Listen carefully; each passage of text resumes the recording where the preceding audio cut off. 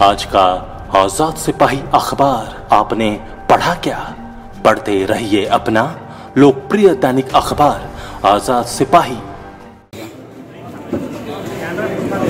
आज तो सुबह सुबह काफ़ी पूजा पाठ किया है और जनता का आशीर्वाद तो मिल रहा है।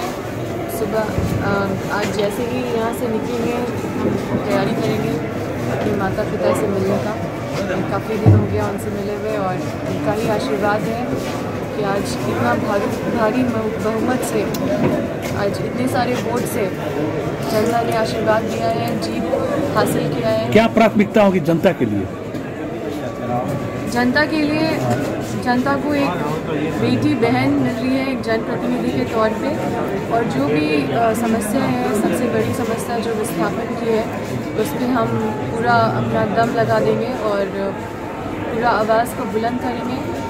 ज़मीन की जो बातें हैं, जो मुआवजा मेरे पिता के द्वारा, श्री सा- साहु के द्वारा जो बढ़ाया गया है, अस्सी हज़ार से बीस लाख तो उन्होंने बहुत संघर्ष किया है लाठी भी खाया है जेल भी गया है। तो वो लाठी मुझे भी खाना पड़े तो मैं खाऊँगी जेल भी जाऊँगी लेकिन ज़मीन का मुआवजा किसी भी हाल में वहाँ पे बढ़ाएँगे। गठबंधन में आपके पिताजी मंत्री थे। आप भी उम्मीद करती हैं क्या? अब ये आला कमान पर निर्भर करता है कि वो हमें किस लायक समझते हैं। अगर वो जो भी निर्णय लेंगे वो सर्वोपरि रहेगा। अगर वो नहीं भी मंत्री पद देंगे तो भी हम अच्छे से काम करेंगे। और हमारा अच्छा अच्छा खासा सीट आया है हर जगह।